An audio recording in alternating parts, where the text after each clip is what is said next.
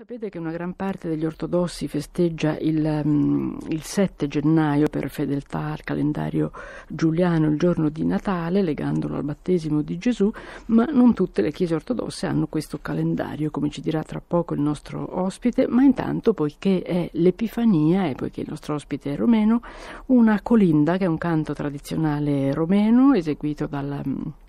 dal complesso delle voci dei Carpazi, dedicato appunto ai tre eh, re magi Trei Crai.